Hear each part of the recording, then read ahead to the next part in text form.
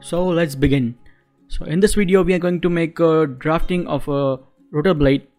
Okay, as we have done in in previous video, we have designed a helicopter rotor blade in a CATIA V5. So in this video we are going to make a drafting of it.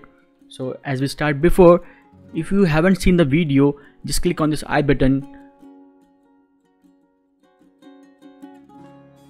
So coming up next, uh, before starting this, this session, I recommend you to have a cup of a tea or a coffee as it helps to focus more and to understand better. Okay, so coming up next, we are going to open a CATIA V5 software. Okay, then just uh, I'm just showing you again. Just open that file that we have saved saved before. Okay, so now scrolling up, hide this three okay so you see the complete rotor blade. I'm just changing the view mode. Okay. So one more thing. If you don't have this file you can download it from the description link below. Okay. So download that file and open in your CATIA Studio software hide these three things and go for mechanical designs and uh, drafting okay. So as you see here the format is a4 sheet. Okay. And the view is front bottom and right view. Okay. You can go for this also. Okay. And now the scaling is 1 ratio 1 okay. So i'm just going to click hit ok. So as we can see here the our sheet is is this much and our design is so much so much big.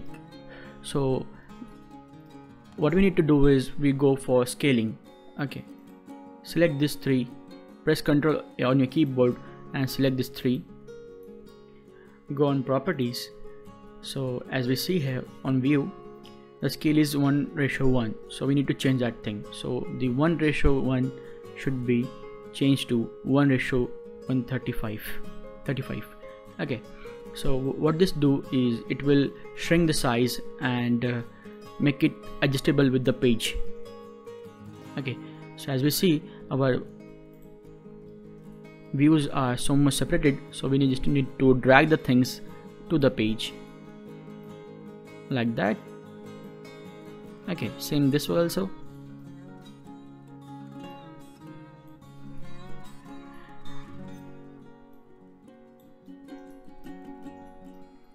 Now adjust the things as per your needs like that. Make sure it all fits in a page. Now we know that the the scaling is 1 is to 35 so it is displayed on this picture. Okay so it helps the user to identify the things and make things better and easier. Okay so now what we need to do is we need a 3d shape of it here to display the how the component looks like after rendering. Okay so for now we are going to import that thing into here. So as you see there's a multiple views you can see here. So i'm just going for out or isometric view. So select it. Go on the window change the change to the rotor blade. So we enter into our module so now we need to just adjust the view as we needed. Select this thing. So it will automatically come into the our drafting module. I'm just dragging it. And now again doing the same thing.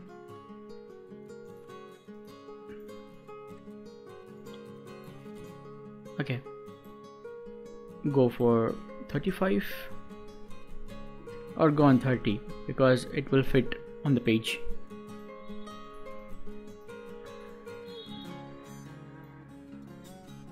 Okay so now what we need to do is uh, I'm just going for properties changing the um, view to the raster generation mode. So it will see so we can see the actual shading with the surface. I'm going for high quality and uh, shading with edges. Okay. Hit hit the apply button. Okay. So as we see it's very simple and clear.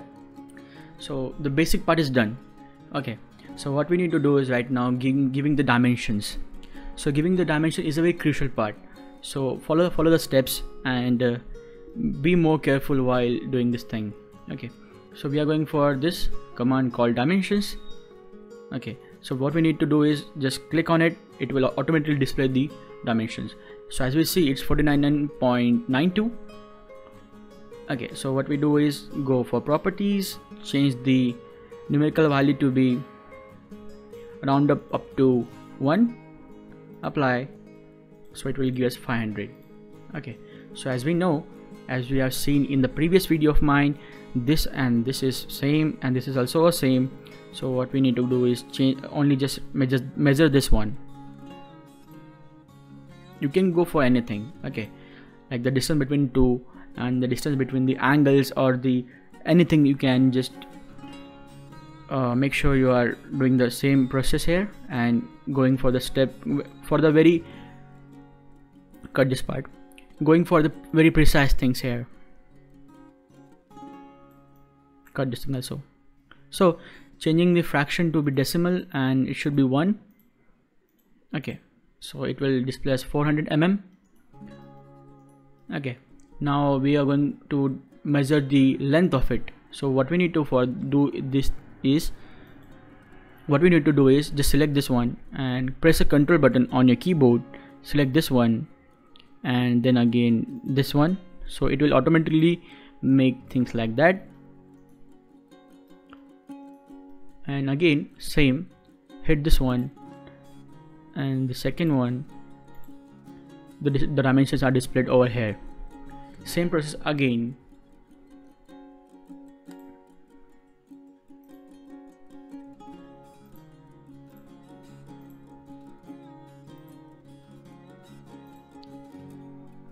so as we know this is our central axis here in the CATIA v5 module of a, of a surface design. Okay. So we are measuring the distance from this axis to the end of it. Okay. So so this is our basic module. And now for more details this is our right view. Same process. This is also give the same dimensions. Okay. So in this case we don't need this one because it, it doesn't have anything. Okay so the main only is one this one and this one. Okay. So if you if you wish to uh, check the angles or any kind of radius or this thing so all things are like the commands are displayed over here. You, you just need to click on it and select the dimensions. Okay. So as we want to measure the angle dimensions between these two. So we can go for here also like this make sure you are pressing your control button on your keyboard. Okay. So like this if you wish to change the size of it or make it smaller you can go for also like this. Dimension text extension lines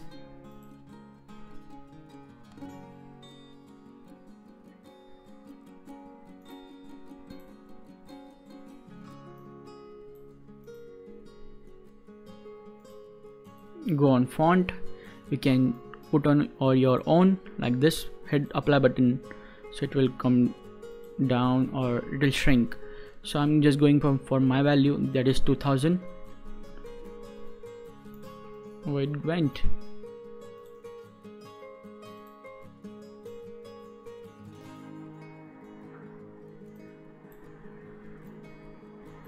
Okay.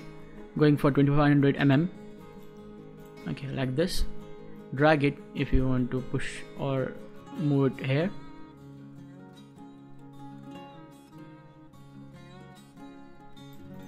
Like this. Okay. So i hope you like this video and uh, share with your friends or your colleagues. Okay. And if you want to see more content you can visit my channel and you, you can see the many things are up, up here waiting for you to learn and excel in your skills and in, and in your commands. Okay so and for now going for the save as button. We can save this thing as a pdf also or, or a ti file also. So i'm just going for um,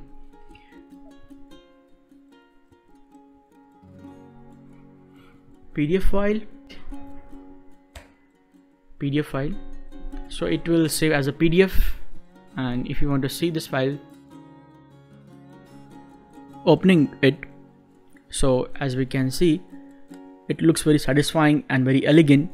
So one can use this as a for reference while designing in CATIA v5 as well as they can use it as a as a blueprint. Okay. So that's it for now. Hope you like this video and subscribe to my channel. This is the least you can do. And see you for the next time. Happy learning.